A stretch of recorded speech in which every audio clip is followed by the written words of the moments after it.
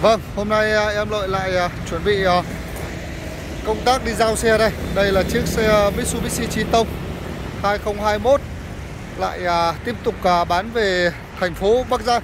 Em lại quay về với quê hương Bắc Giang Thân Yêu. Đây là tại cửa hàng địa chỉ em Lợi đây.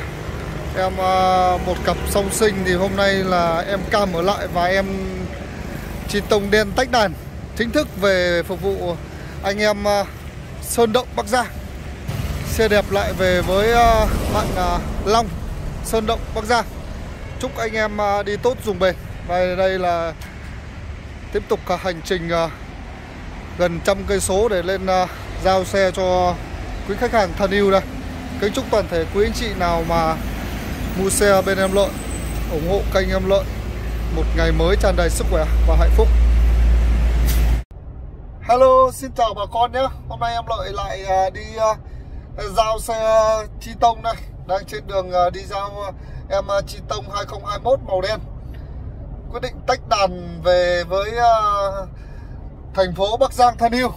Đấy, đây là đang trên đường đi về Bắc Giang với chiếc chi tông màu đen. Toàn bộ xe thì đang đi với tốc độ 80 thì khá là ổn định đây.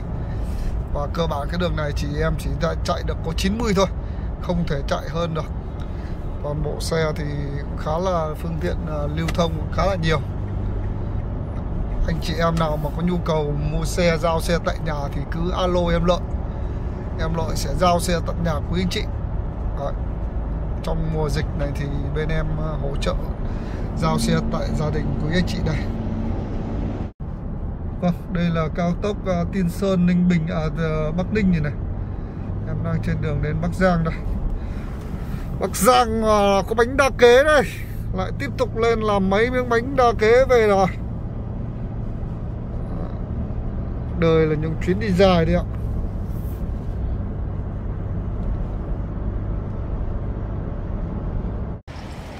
Vâng, và đây là thành phố Bắc Giang. Toàn bộ Vâng, và đây là thành phố Bắc Giang đây Toàn bộ chiếc xe đã về đến uh, trung tâm thành phố Bắc Giang rồi Đấy, địa chỉ đây là đường Sương Giang. Đường Sương Giang, thành phố Bắc Giang. Đang chờ bác chủ ra để bàn giao xe đây Xe đã về tại thành phố Bắc Giang thân yêu.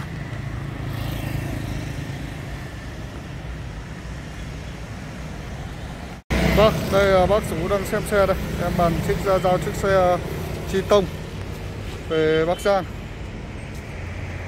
Toàn bộ chiếc xe thì đã được kiểm tra và bàn giao. Chúc ông anh à, đi tốt dùng bền. Đấy. người đàn ông à, quê Bắc Giang đã nhận ra do dịch.